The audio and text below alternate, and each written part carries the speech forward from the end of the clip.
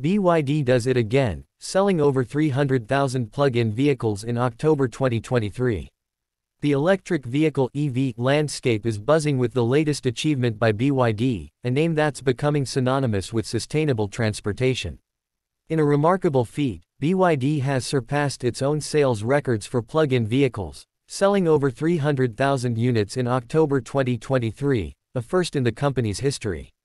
This marks their sixth consecutive monthly sales record, signifying not just a streak, but a clear trend in the EV market.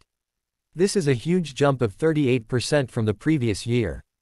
A staggering 301,095 passenger plug-in cars, including 11,500 high-end Denza EVs, were sold by BYD last month, a jump of 38% from the previous year.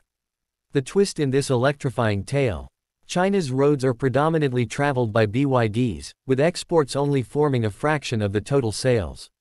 However, that small slice of exports still represents a record-breaking 30,521 vehicles, underscoring BYD's expanding global footprint.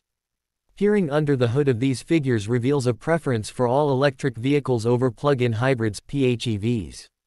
Pure electric cars made up an impressive 60% increase from the year before, eclipsing PHEVs, which saw a comparatively modest 19% growth. This shift might hint at a future where charging replaces fueling entirely, a vision BYD has clearly set its sights on since ceasing production of non-rechargeable cars in March 2022.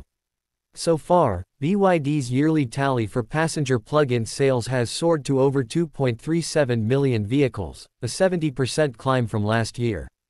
This includes a substantial lead for all-electric models, which grew by 77%, as compared to the 64% for PHEVs,